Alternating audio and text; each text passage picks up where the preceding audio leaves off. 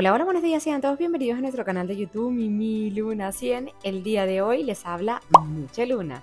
Realizaremos un sobre en fieltro para Santa. Usaremos la cuchilla rotatoria, sí.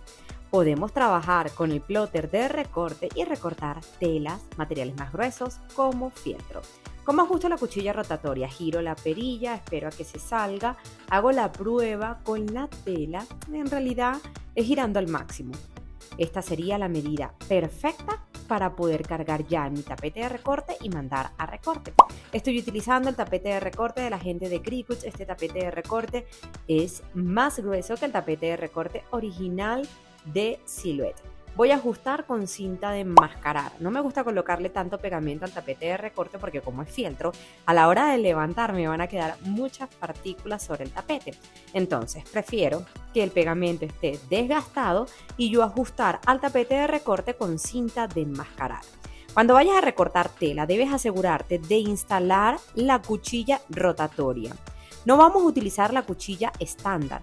Necesita sí porque sí la cuchilla rotatoria. Esta está diseñada específicamente para cortar materiales más gruesos como el fieltro.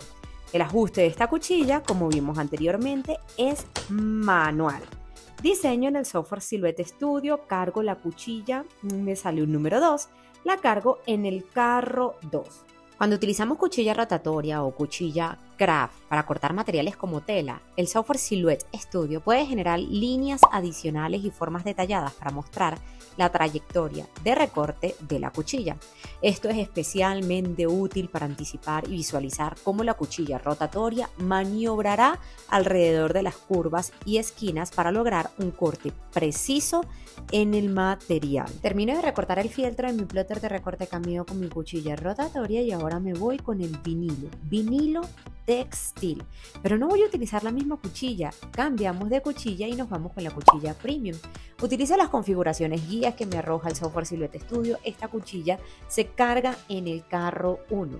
Dependiendo del material que vayas a recortar, es el tipo de cuchilla que vas a utilizar. Puedes hacer este recorte también con la cuchilla autoajustable pero me gusta utilizar la cuchilla premium. Recorte prolijo. ¿Qué tan útil es contar con un plotter de recorte cameo? Esta es una herramienta versátil que ofrece numerosas posibilidades creativas y prácticas.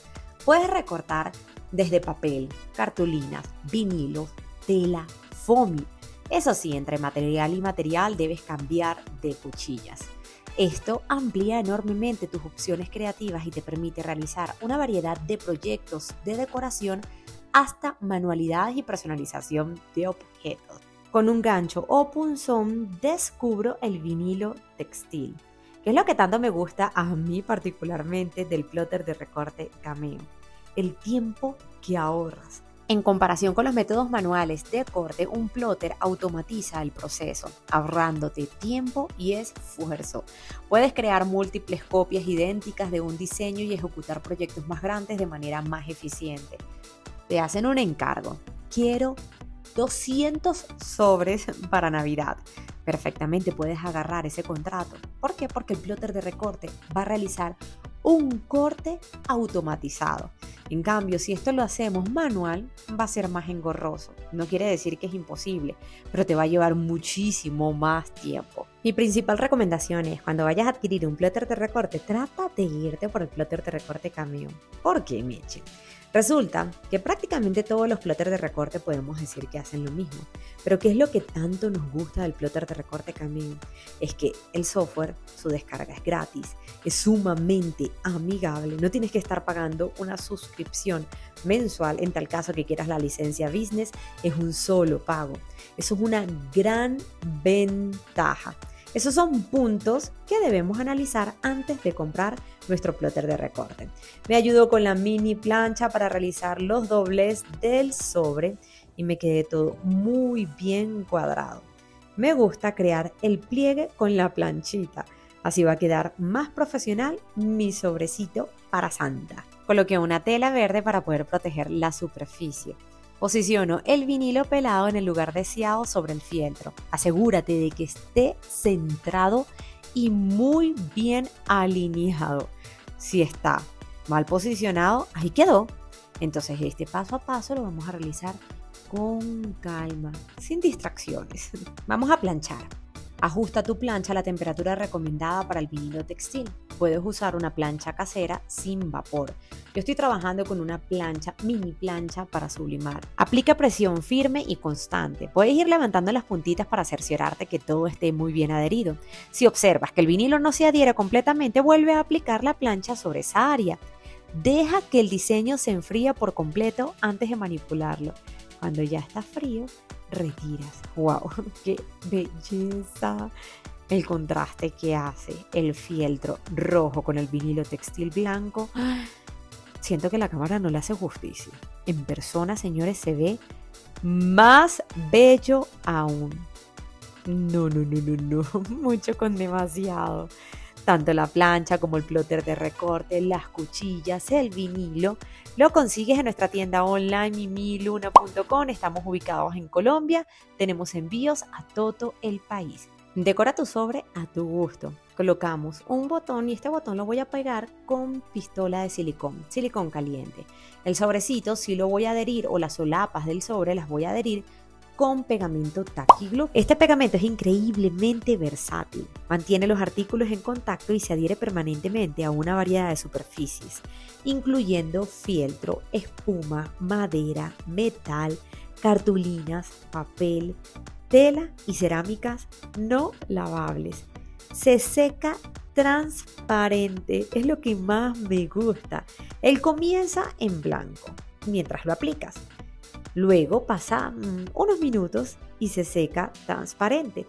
No se pone amarillo con el tiempo, por lo que es una opción perfecta específicamente para este tipo de manualidades. Ay, es incómodo cuando estás realizando proyectos tan, tan bonitos y después ves detalles de pegamento. No, no, no, no nos gusta. el pegamento Glow lo consigues en nuestra tienda online. Qué bonito te ves. El sobrecito de Santa. Vamos a decorarlo un poquito y le colocaremos unos egelets para guindarlo al árbol de Navidad. Mientras más detalles tenga tu pieza, más bonita se va a ver. Contar con una amplia gama de selección de artículos para tus manualidades ofrece una serie de beneficios que pueden mejorar significativamente la calidad y la creatividad de tus proyectos. Todos los materiales y herramientas que necesites para llevar a cabo este proyecto están disponibles en nuestra tienda online miluna.com. Puedes encontrarlos fácilmente visitando nuestra página web Además, si deseas apoyar nuestro canal y permitirnos seguir creando contenido emocionante, te invitamos a convertirte en suscriptor de Mimi Luna 100. Simplemente le das clic al botón de suscribirte. No te pierdas nuestras actualizaciones y contenido exclusivo en nuestras redes sociales, Instagram, Mimi Luna Manualidades, cuenta de TikTok, Meche Luna.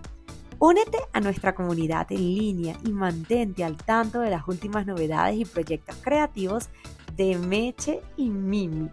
Le realizo un nudito a este cordoncito, recorto con la tijera de We Are Memory Keepers y ya estamos listos para disfrutar en nuestro árbol de Navidad. Quedaste precioso.